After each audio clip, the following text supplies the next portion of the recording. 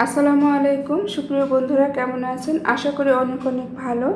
স্বাগতম জানাচ্ছি আমার চ্যানেল টেস্টরুম কুকিং থেকে।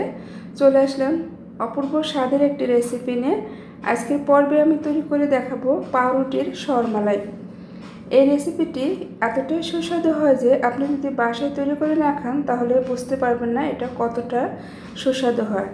আমরা মিষ্টি দোকান থেকে যে শর্মিলা কিনে খাই, তার চেয়ে এটি কোনো অংশে স্বাদে কম হয় না। তো বন্ধুরা, কথা না বাড়িয়ে চলে যাব মূল রেসিপিতে। একটি লাইক দিয়ে ভিডিওটি দেখার অনুরোধ করছি, আর ভালো লাগলে আমার চ্যানেলটিকে সাবস্ক্রাইব করার অনুরোধ রইল। তো প্রথমে আমি মালাই তৈরি করে নেব। এর জন্য চুলে আমি একটি প্যান বসিয়ে দিয়েছি, আর এতে দিয়ে দিয়েছি হাফ কেজি পরিমাণ গরুর দুধ। আর এখন আমি দিয়ে দিলাম দুই টেবিল চামচ চিনি। চিনিটা দিয়ে দুধের সাথে খুব ভালোভাবে মিশিয়ে নিতে হবে। আর এই দুধটাকে আমি জাল দিয়ে একদম ঘন করে নেব, অর্থাৎ আমি মালাই তৈরি করে নিব।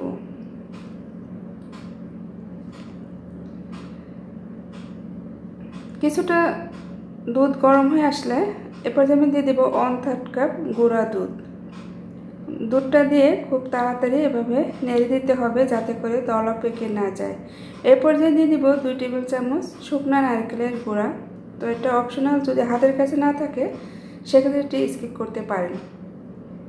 তো এভাবে জ্বালাতে জ্বালাতে এক পর্যায়ে যখন ঘন হয়ে আসবে, তখন আমি চুলাটা অফ করে দিব।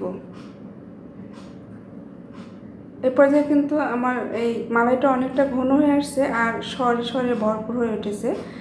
তো আমি এবার চুলাটা অফ করে এটা সাইড করে রেখে দিব।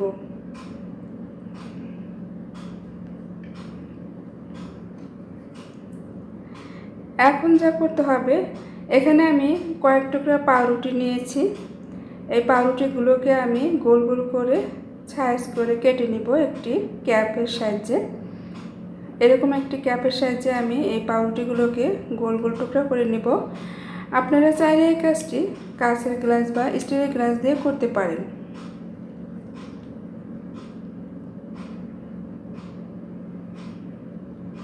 তো এই তো, একটি করা হয়ে গিয়েছে আর একইভাবে আমি সবগুলো পাউরুটি এভাবে কেটে নিব। সবগুলো তৈরি করা হয়ে গিয়েছে এখন যা করতে হবে, আমি এই পাউরুটির একটা টুকরা নিলাম আর এর উপরে আমি কাপ আইসক্রিম দিয়ে দিব। এখানে আমি ভ্যানিলা কাপ আইসক্রিম ব্যবহার করছি, আপনারা এরকম কাপ আইসক্রিম ব্যবহার করতে পারেন। এভাবে দিয়ে তার উপরে আর এক টুকরা পাউরুটি দিয়ে এইভাবে সেট করে নিব। আর একইভাবে সবগুলো নাস্তা আমি তৈরি করে নিব। তো সবগুলো তৈরি করা হয়ে গিয়েছে। এখন আমি এর উপর সেই মালাই দিয়ে দিব।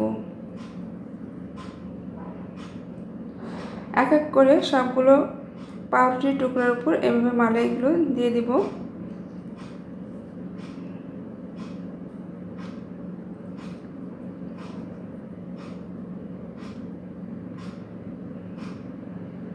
এই তো ভীষণ মজার মালাই তৈরি করা হয়ে গিয়েছে সরমালাই এর উপর আমি কিছু পেস্তা বাদাম কুচি দিয়ে পরিবেশন করব।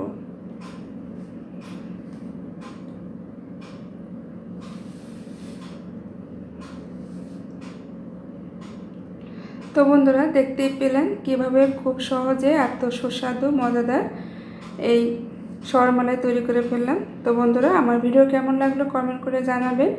আজকের মতো আমি এখানেই বিদায় নিচ্ছি। চলে আসব আবার নতুন কোনো রেসিপি নিয়ে। আর ভালো লাগলে অবশ্যই আমার চ্যানেলটিকে সাবস্ক্রাইব করে অনুরোধ রইল। আপনাদের জন্য অনেক অনেক দোয়ার ভালোবাসা রইল। আমার জন্য দোয়া করবেন। ভালো থাকবেন, সুস্থ থাকবেন। আল্লাহ হাফিজ।